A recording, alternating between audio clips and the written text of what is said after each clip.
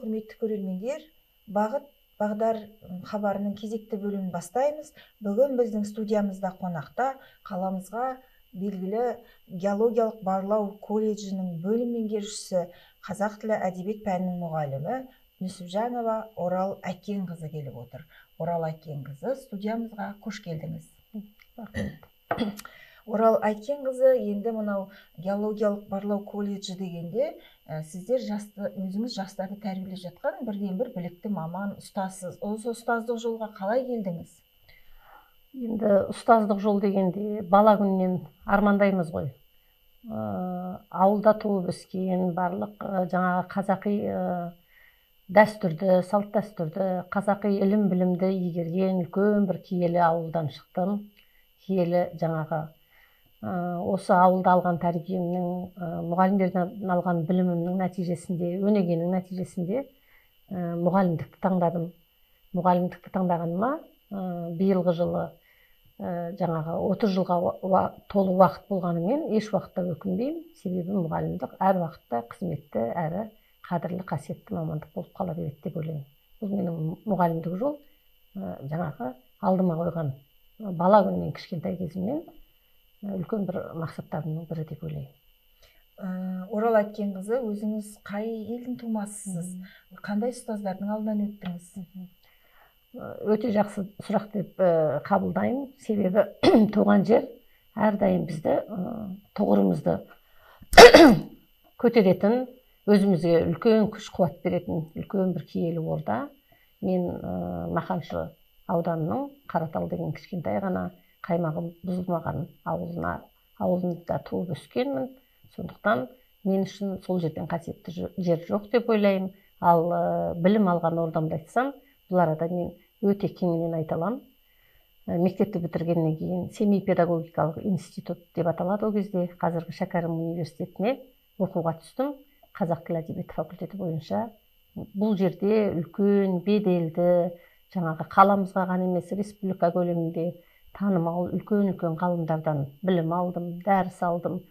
Оны ар жағынан қазбалайтын болсақ ә, абайтанушы қайым мұхамедхановтан ә, мәшһүр жүсіптен және қинаят шаяхметұлынан арап еспенбетовтен үлкен жаңағы дәрістер алып алдын көріп сол кісілердің ұлағатын ә, көзіммен көрген адам ретінде осы ұстаздықтың да маған осынша бір қадірлі қасиетті болатын. Мен сол кісілердің де бір үлкен мектебінен өткендіктен деп білемін. Иә. Өте жақсы өзіңіздің бір осы ұстаздық жолға арнаған бір төрт жол өлеңіңіз де бар екен ғой соны оқып жібересіз бе? Иә біз енді ұстаз болғаннан кейін үнемі шығармашылықта жүреміз. Қазақ тілі әдебиетінен ә, сабақ беретін мұғалімдер тіпті әрдайым күнделікті десе болады. Сондықтан мен жиырмасыншы жылы ә, шығыс қазақстан облысында мына кәсіптік білім беру саласы бойынша өткен мұғалімдердің үздік оқытушы деген конкурсына қатыстым. Сол конкурста зерттеуші педагог номинациясы бойынша жаңағы жүлделі орынға ие болдым. Сол кезде осыған ұқсас сұрақ қойылып сіз бұл жолды неге таңдадыңыз? дегенде айтылған бір шумақ өлең есіме түсіп отыр. Ұстаздық жолды таңдаған себебім бала күннен арманым. Ұстаздық жолды таңдадым. Білімге ден қойса деймін маңайымдағы жан жағым. Керемет иә. керемет. Енді ұстаз болу жаңағы екінің бірінің қазір қолынан да келе бермейді. Рас енді отыз жыл еңбек ету деген сіздікі үлкен еңбек. Енді мына өзіңіз жыл сайын жаңағы ғылыми конференциялар ұйымдастырушыларын ұйымдастырып жүреді екенсіз осы геологиялық барлау колледжінде. Сол жыл сайын кімге арналады қандай тақырыптарды қозғайсыздар осы жөнінде айта кетсеңіз. Жалпы бұл сұраққа жауап берерде мен өзім еңбек етіп жүрген қызмет істеп отырған геологиялық барлау колледжінің ерекше бір маңыздылығына ерекше республикада орны бар колледж екеніне тоқталғым келеді. Себебі иә геология саласы бұл ел президенті қасым жомарт кемелұлы тоқаев биылғы жолдауында да халыққа жолдауында да айтып жатыр ғой. Халықтың жалпы қазақстанның жер ресурстары әлі толығымен ашылған жоқ. Халықтың әлеуетін арттыру үшін біздің колледжде жаңағы оқытылатын мамандықтар бойынша біздің елдің экономикасына тиетін тигізетін әсері көп болады. Сондықтан біз дәл осы колледждің қазіргі таңда маңызды рөл атқарып отырғанына мен сенімдімін. Жыл сайын бізде түрлі конференциялар түрлі іс шаралар жүреді. Осындай конференциялардың біріне тоқталғым келеді. Жиырма үш жыл осы геологиялық барлау колледжін басқарған марал әлібекұлы әлмұхановтың құрметіне ол кісі осыдан бес жыл бұрын дүниеден озды. Белгілі жаңағы білім беру ісінің үздігі жер қойнауы қызметтері бойынша құрметті қызметкер атағын алған осы колледждің өсіп өркендеуіне ерекше ықпал еткен өзінің жаңағы ерекше рөлі бар.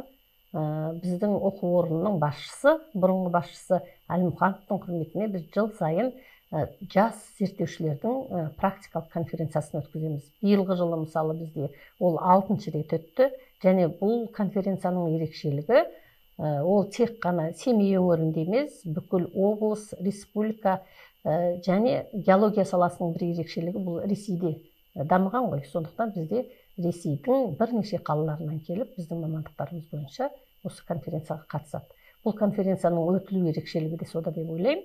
Себебі бұнда танымдық жағынан ғылыми жаңағы тәжірибе алмасу жағынан бізге көп мүмкіндіктер беретін конференция ретінде көп жұмыстың ішінен осы бір жұмыстарды ерекше атап өткім келеді. Өте жақсы. Орал әйткенқызы тағы бір мына сұрақ қойып жіберсем ә, жаңағы колледж биыл ә, қанша жыл болды ашылғанына? Және де мына ә, колледжде сіздер ә, жаңа қосымша білейін деп отырғаным тоғызыншы сыныптан кейін балаларды қабылдайсыздар ма? Мысалы биыл кейбір колледждерде ә, студент жетпей қалған дейді. Жаңа мемлекеттен грант бөлініп отырса да соны толтыра алмай қалған колледждер бар атын атамай ақ қояйын. Енді біреуге жығылғанға жұдырық көрсетпейтін қалыппыз ғой. Иә. Сонда жаңағы сағаттары қысқарып жатқан мұғалімдер бар жұмыссыз қалған. Ана балаларды жинақтай алмай. Сіздер тоғыздан кейін қабылдайсыздар ма? Он бірінші сыныптан кейін қабылдайсыздар ма? Осы кеңірек айтып берсеңіз жаңағы көрермендеріміз де мүмкін балаларын өздеріңізге келесі жылы әкелер талапкер ретінде. Жақсы. Біздің колледж жалпы 1931 жылы геологиялық барлау техникумы болып қалыптасты. Содан бері міне 90 жылдан артық уақыт өтті. Колледждің соңғы жылдардағы жаңа 90 жылдар заманның қиын болып тұрған кезінде керісінше бізде колледж бір қайта өрлеу дәуіріне пайда болған секілді. Содан бастап біздің мамандықтарымыздың республика көлеміне танылып жаңағы жұмысымыздың жандануына ерекше ықпалы тиді. Қазіргі уақытта біздің колледжде 1200-ге тарта студент білім алып жатыр. Және бұл студенттер жыл сайын 9 класстан кейін қабылданады. 11 класстан кейін қабылданатын студенттер ол ақылы топтар негізінде. Ал жалпы бізге мемлекеттік грантта жыл сайын ойдағыдай қалыпты дәрежеде беріліп жүр. Және біз оны толық жабамыз артығымен жабамыз. Сондықтан мен ойлаймын геология мамандығын бұрындары бір қалтарыста болмаса жаңағы далада жүріп істейтін жұмыс ретінде қабылдайтын. Біз көбіне өзіміздің жастарымызды бір мезеттер болды ғой. Тек қана мұғалімдік пен дәрігерлікке болмаса жаңағы қаржыгерге немесе жаңағы сот қызметкерлері секілді мамандықтарға жіберу. Олай емес қазіргі кезде геология мамандығына сұраныс та көп талпыныс та көп. Және бұл тұрғыда колледждің де жасалып жатқан жұмыстары өте көп. Біз мысалы мектептің оқушыларымен бізде жас геолог деген жаңағы үйірме жүреді. Және тоғыз оқып жатқан балаларды біз мектептерге жарнама жасау мақсатында барып сол балалардың бізге қызығушылығын көріп тұрсақ бізде дайындық курстары деген бар. Сол дайындық курстарға тапсыру арқылы да біз жаңағы өзіміздің контингентімізді толық және артығымен жинап отырмыз. Ол жағынан бізде аса көп мәселе жоқ. Орал әйткенқызы керемет тамаша ақпарат беріп жатырсыз. Өйткені халық бір келеді екі келеді. Әсіресе мынау соңғы бұрын геологиялық барлау ісі тек қана орыс тілді адамдарға тән дейтін рас қой? Соңғы кезде тәуелсіздік алғаннан кейін қазақ балалары да бұған кішкене назар аударып келе жатыр. Ә, себебі бізде мысалы медеу сәрсеке деген жазушымыз қаныш сәтбаев туралы өзіңіз білесіз ә, роман жазды сол кісінің. Немесе айтатынбыз химия пәнінен оқытқан кезде ә, ұстаздарымыз айтып жататын қазақстанда бүкіл менделеев таблицасының бүкіл элементтері бар. деп. Рас қой? Сонда мына жер қойнауын өзіміздің қазақтардың да игеруі қажет. Кешке шейін барлығы дәрігер барлығы мұғалім барлығы, барлығы заңгер бола алмайды ғой. Олар өйтіп мамандық алса тіпті жұмыс та таба алмай қалуы мүмкін. Рас па келісесіз ғой. Келісемін. Иә енді осы орайда ә, мынандай тағы бір сұрақ қойсақ қазір мына қысқарып жатқан колледждер өте көп. Сонда мына геологиялық барлау колледжін біреулермен біріктіреді деген бір әңгіме шықты осы рас па? Осыны айта кетсеңіз. Иә біздің колледжді жалпы біздің мамандығымызды геодезия мамандығына байланысы бар деген ә, жаңағы желеумен бұндай дақпырттың болғаны рас. Бірақ дегенмен қазіргі уақытта ә, жаңағы президенттің өзі ерекше мән беріп ә, қазақстанның ұлттық геологиясын дамыту керек ұлттық геологиясының ашылуына ерекше мән беру керек деген ә, жағдайларды айтып жатқаннан кейін де біз өзіміздің толық статусымызды сақтап отырмыз. Ә, жеке геологиялық барлау колледжі ретінде қызмет істеп келеміз және істей береміз дегенде үміттеміз. Себебі сіз айтып отырған ә, жаңағы қаныш ағамыз туралы жазған ә, медеу сәрсекеұлы бізде ә, өзі кездесуде болды балалармен өзінің еңбектерін таныстырды. Сол уақытта да ол кісінің де негізгі алған мамандығы Э, жаңағы геологияға қатысы бар өзіміздің семзаводта жұмыс істеген еңбек жолын жазушылыққа бармай тұрып сонымен бастаған адам болғандықтан жаңа қаныштың өмірін айта отырып ол кісі біздің балаларды қызықтырған кезде өзінің таңдамалы жаңағы шығармасы арқылы. Жалпы ә, жаңағы Э, бул колледждин мен башка колледжге кошулуун элестете алмайм. Және э, бул колледж дербес республикадагы дәл осы сала боюнча бирден бир бірегей колледждин бири болуп калат деген ойдамын. Және сол багытта жумуш жасап жатырмыз. Өте жақсы. Енді абай облысы құрылдық бұрын енді өзімізде кісі дегеннің кілті аспанда деген қазақта мақал бар. Өзіміз басқа қала қарап тұрған кезде шынында да мына семейдің тамаша мектептері әсіресе балет мектебі қысқарып қалды біраз облыстық неден мәртебеден түсіп қалалық деңгейге түсіп қалған кезде таң қалдым мен өскемен білім саласында отырған адамдар қалай ойланбайды деген. Мен енді қазір енді өз еркіміз өзімізге берілді ғой. Сондықтан да геологиялық барлау колледжінің қазақстан экономикасына қосу үлес қосуында еңбегі зор болады деймін. Бірақ мен түсініп отырмын сіздерде қандай мамандықтар бар қай салада дайындайсыздар ал бірақ мына халық білмейді. Қандай сіздерде факультеттер бар? Диплом алған түлектер қай жерге барып жұмыс қылмасын болады осыны айта кетсеңіз. Өте жақсы. Және біз дәл осындай сұрақ қойылса ә, еркін түрде мақтанышпен айта аламыз. Себебі бізде бес мамандық дайындаймыз ол мамандықтар бізде таза геолог мамандығы геофизик мамандығы эколог бұрғылаушы мамандығы және ә, жаңағы ә, геофизик мамандығы дедім иә. Осы мамандық гидрогеолог мамандығы бар. Осы мамандықтың бәрі геология саласына қатысты. Енді еңбекпен қамту жұмыспен қамту немесе тәжірибемен қамту ә, жаңағы саласына келетін болсақ бізде арнайы бөлім жұмыс жасайды. Тәжірибе және жұмыспен қамту бөлімі деген бөлім бар. Бұл да жаңағы айтып отырған ә, бұрынғы басшымыз ә, әлмұхановтың ә, ұсынысымен жаңағы жұмыс істеп келе жатыр. Қазіргі басшымыз бен әкімшілік соны ары қарай жалғастырып отырмыз.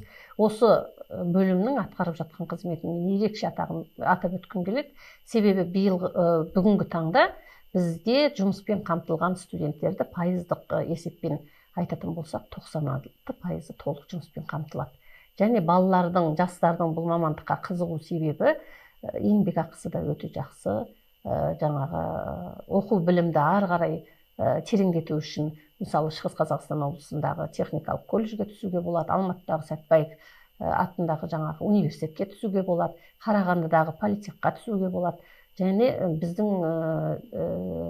колледждің оқу орнының алдыға қойған жұмыстарының тағы біреуі ол біз өзіміздің студенттерді жоғары білім алу үшін ресей оқу жоғары оқу орындарына жібереміз. Ол мәскеудің геологиялық барлау жаңағы университеті сол секілді томскідегі осы геологиялық университеттерге түсіп ал университет бітірген студенттеріміз түлектеріміз магистратураны да жалғастыруға болады. Сондықтан бұл мамандықтың жұмыспен қамтылу жағынан бүгінгі таңда өте алдыңғы қатарлы мамандығы ретінде жалақысының жаңағы жоғары болуы көпшіліктің қызығушылығын тудыратын мамандық ретінде біз ерекше атап өткіміз келеді. Жаңағы осындай жұмыстар жүргізіліп жатыр. Ә, орал әткенқызы тағы бір сұрақ қойып жіберсем өзіңізге ә, жаңағы сіздерде тек қана жастар өз мамандығына ғана ә, жұмыс өз мамандығын ғана оқымайды ғой. Ә, сіздерде спортқа деген. Иә. қызығушылық бар ма? Өнерге деген қызығушылық бар ма? Сайыстарға қатысып жатырсыздар ма? Жаңағы ғылыми конференцияңызды айтып жатырсыз оны жаңа түсініп жатырмыз. Осы жағына да осы жағына да тоқтала кетсеңіз. Э, колледждің контингенті жаңағы ә, жақсы. Мың екі жүз адаммен жұмыс істеу үшін бізде жаңағы жатақхананың өзі екі үлкен жатақханадан тұрады. Және ә, республиканың барлық жан жағынан келетіндіктен студенттер біз барлық үйірмелер мен спорттық секцияларды оларға жаңағы ұсынамыз. 17 үйірме жұмыс жасайды бірнеше секция жұмыс жасайды. Бұл үйірмелердің ішінде мысалы менің мамандығыма байланысты гаухартас деген драмалық үйірме бар. Бірнеше рет осы қаладан жүлделі орындар алған бірнеше рет жаңағы қойылымдар қойған мына облыстық қалалық байқаулардың жүлдегері болған балаларды ерекше атап өткім келеді. Балалар бос уақытында еш уақытта бос қалмайды. Себебі бізде акт залында да спорттық залдарда да үнемі қарбалас үнемі жаңағы түрлі іс шараға қатысу үшін дайындықтар жүргізіп жатыр. Өте жақсы. Енді орал әкенқызы өзіңіз білесіз еліміз дүбірлі бір үлкен шараға дайындалуда. Ол мына президент сайлауы. Ұжым осы сайлауға енді бәлен адамға осыған нақты дауыс бер деп біз жарнамалай алмаймыз. Әркімнің өзінің көңіл қалауы таңдауы болады ғой. Дегенмен бізге мына абай облысы мәртебесін берген президентіміз қасым жомарт тоқаевқа осындай кезде бір рахмет айтқанымыз да жөн сияқты. Ол кісі халыққа жақын халыққа етене адамның бірі. Өздеріңізде осы сайлауға деген дайындық қалай жүріп жатыр? Сайлауға деген дайындық туралы айтатын болсам біздің колледждің өзінде үлкен екі участок дейміз ғой. Екі участок жұмыс жасап жатыр. Қазір ә, көрегенді басшы көпке ортақ дейді.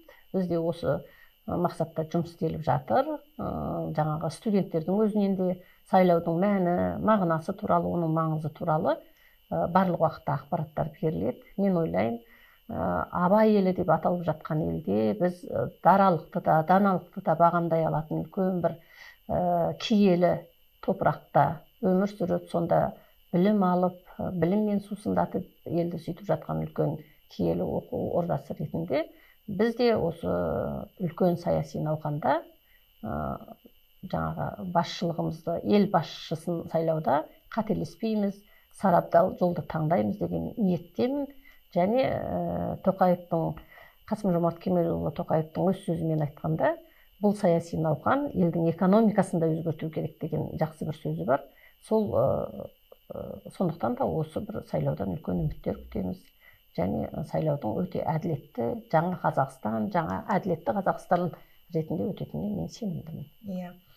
Құрметті көрермендер жаңа өздеріңіздің естеріңізге сала кетсек бүгін біздің қон, студиямызда қонақта болған геологиялық барлау колледжінің бөлім меңгерушісі қазақ тілі әдебиеті пәнінің мұғалімі 30 жыл жаңағы ширек ғасырдан астам деуге болады. Ұстаздық еткен қаншама жастарды балаларды білікті мамандарды тәрбиелеген нүсіпжанова орал әткенқызы отыр студиямызда. Орал әткенқызы сізбен тағы да кездесеміз. Алдағы уақытта өзіңіздің ә, тамаша алтын кенді деп айтайыншы енді геологиялық барлау колледжінен келгендіктен де өзіңіз мына ә, алтын кенді ойларыңызды ақылдарыңызды тағы да осы студиямызда еститін боламыз деп үміттенемін. Енді абай болып құрылып жатырмыз. Мына біздің абай елінің халқына қандай өзіңіздің көңіліңізден шыққан бір игі тілектеріңіз бар? Жаңағы осы айта кетсеңіз. Құрметті көрермендер шынымен де биылғы жыл біз үшін ерекше жыл. Өйткені біз қаншама жылдар бойы осыны аңсадық армандадық. Жаңағы жеке абай елі ретінде семей топырағының киелілігін бір ерекше паш ететін бұл да бір тарихи кезең деп ойлаймын. Бізге абай жаңағы облысы ретінде жеке бізге жаңағы статусымыз өсіп жатқандықтан ә, бүкіл халықтың құрамындағы бір адам ретінде мұғалім педагог ретінде мен де қуаныштымын. Барлық халыққа жақсылық амандық және абай облысы ретінде біздің алатын асуларымыз шығатын биіктеріміз көп болса екен деген тілек айтқым келеді. Рахмет орал қызы ә, құрметті көрермендер міне талапты жас болса абай айтпақшы сен де бір кірпіш дүниеге кетігін тап та бар қалан деп егер де мен жерімнің қыртысын жерімнің ә, сырын білем деген жастарыңыз болса үйде оқып жатқан балалар болса міне геологиялық барлау колледжіне келуге болады. Қандай міне қазақ айтады түс игіден түңілме жарқын мінезді осындай орал қыз сияқты ұстаздарымыз ә, сабақ беретін болады. Сондықтан да геологиялық барлау колледжіне ә, келіңіздер тапсырдыңыздар. Тоғызыншы сыныптан кейін он бірінші сыныптан кейін жаңағы біздің еліміздің ә, президентіміз айтпақшы экономикасы өрлей берсін қазақтан білікті мамандар шыға берсін. Сол үшін кезінде қаныш сәтбаевтар сонау москваға дейін барып түрлі съездерге қатысып шіркін ай қазақтың жерін қазақтың өзі игерсе ғой деген армандары болған ол кісілердің. Сол армандарын ұмытпайық біз ә, деп айтқым келеді. Сонымен осы шағын хабарымыз аяқталды. Келесі кездескенше аман сау болыңыздар. Thank you.